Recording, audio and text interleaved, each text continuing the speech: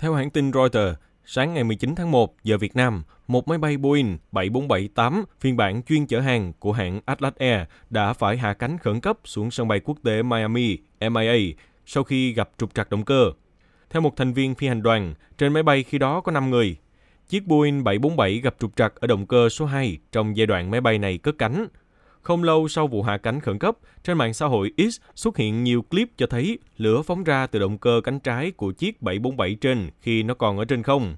Cả hãng này và Cục Hàng không Liên bang Mỹ FAA đều tuyên bố sẽ tiến hành điều tra vụ việc. Hiện cả Boeing và General Electric, hãng sản xuất động cơ bị lỗi, đều chưa đưa ra phản hồi trực tiếp đối với vụ việc. Theo Reuters, việc động cơ hư hỏng là tương đối hiếm.